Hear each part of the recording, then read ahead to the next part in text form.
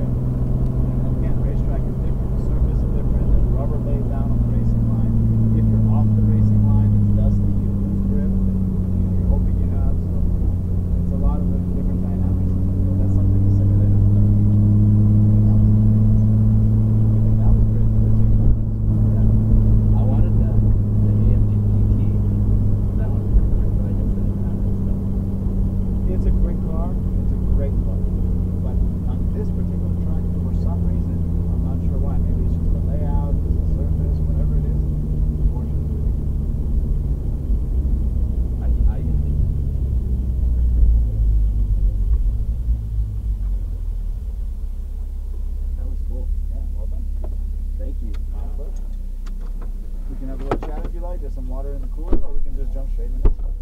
You want me to turn it off? I think we're good for the next car. I'm ready.